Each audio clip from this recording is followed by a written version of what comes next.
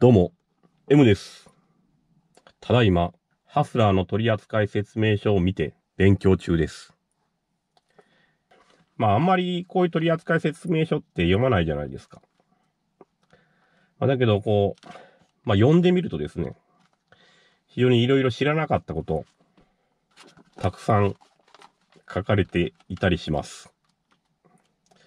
まあ、それでですね、今回は、これマルチインフォメーションディスプレイ。2代目ハスラーになって、えーカラー表示になったマルチインフォメーションディスプレイについて勉強しています。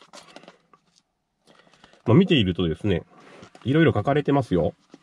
まずですね、オープニングの画面が、鈴木のマークか、ハスラーのマークか、2種類まあ、エンジン始動した時に出てくると思うんですけど、まあ、どちらかに固定することができるって書いてますね。それからですね、時計とかカレンダーの、まあ、セッティングの仕方も書かれてます。まあ、いろんな表示があって、まあ、どれにするか迷うんですけれども、まあ、私はですね、まあ、いつもこの、15分前までのあの燃費履歴の表示に最近はしてます。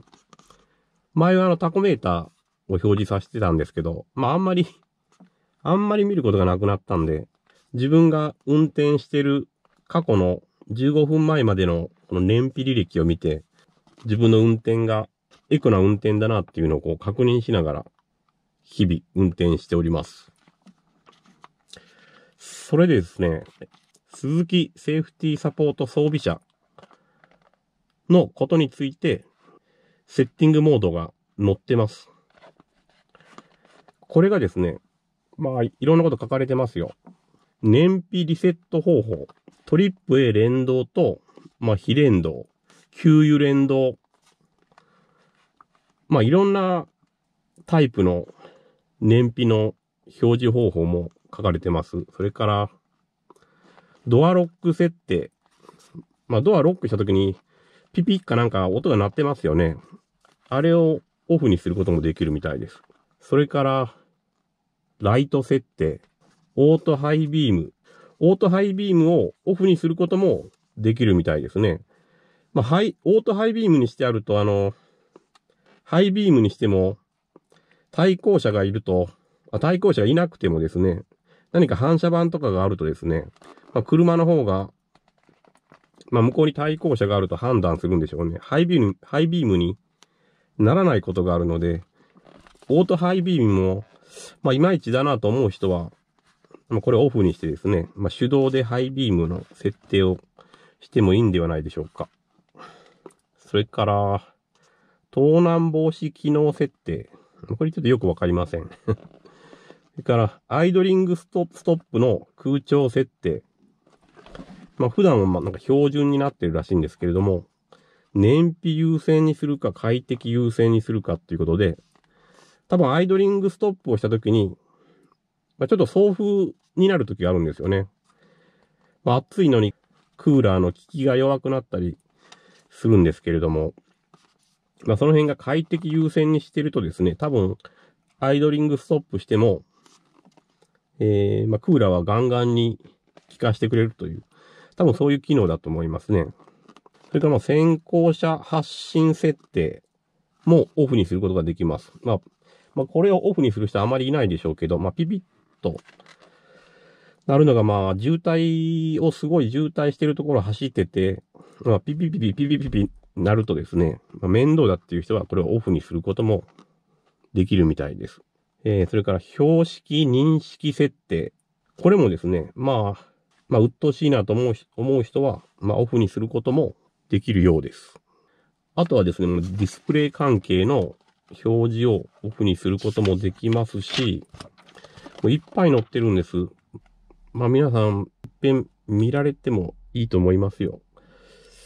ええまあ、いろいろ表示を変えることが、オフにすることができるようです。それではですね、ちょっとあの、ライト設定と、最初のオープニングの設定を、ハスラーのアニメーションに固定してみましょうかね。ちょっとやってみましょう。えー、っと、ひとまずちょっとエンジンかけます。今ですね、まあ、ハスラーのマークになってます。それで、これをセッティングモードにするには、まあ、ハンドルについているインフォメーションボタンか、えー、この送風運転席の、えー、右前方のインフォメーションボタンを押すか、えー、どちらかでセッティングモードになるようです。これを長押しするそうです。インフォメーションボタンをやってみましょう。長押しします。はい、セッティングモードに変わりました。これで、セッティングモードに変わってから、こちらの、えー、プラスマイナスで、えー、これの表示が動くようです。で、えー、私がしたいのがですね、えー、何でしたっけ？違うな。私がしたいのはライト設定。ライト設定なので、まあ、この状態で、えー、インフォメーションボタンを押します。そうすると、まあ、オートハイビームという表示が出てくるので、オートハイビームでインフォメーションボタンを押します。えー、オフに変えたいので、オフにして、インフォメーションボタンを押します。そうすると、 successful というのが出てきました。一応ちょっと見てみましょうか。もう一回、インフォメーションボタン、オフになっています。ね。はい、戻る。そしたら、戻る。そしてもう一つがですね、えー、私が変えたいのは、アニメーション表示なので、えー、アニメアニメーション表示でインフォをします。えー、オープニング表示、オープニング設定、インフォ。えー、A ですね。A の方が、A の方がハスラーのアニメーション。B の方が鈴木のマークのようです。なので、A に設定します。サクセスフル表示されました。えー、そしたら、一旦戻ります。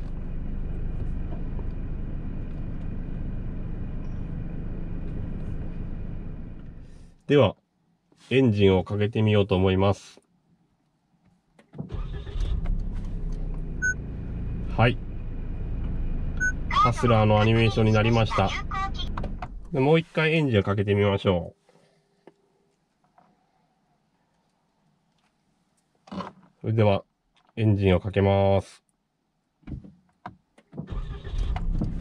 はい。